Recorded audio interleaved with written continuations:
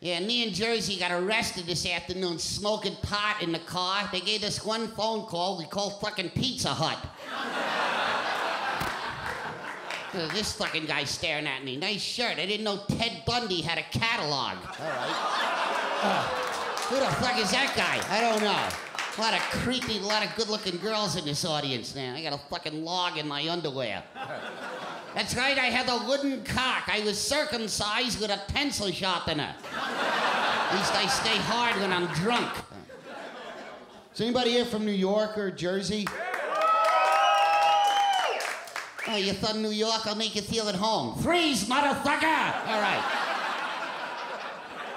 Oh, that's a black guy. Guilty. All right, stop that. Guilty. Cut it out, George. I'm sorry. All right. Ugh.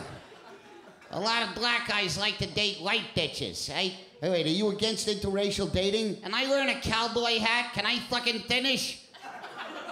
You're not against interracial dating. No, you can't blame them. You ever seen a black vagina? It looks like a fucking wallet. Okay. I expect the girl to open her legs and fucking credit cards and change would fall out. Uh, miss, your Visa card, there's a quarter here. Pussa. Okay. I need some pussa. Okay. Isn't that romantic when a black guy says, I need some pussa? Here's a black guy sneezing. Uh, uh, a pussa. Okay.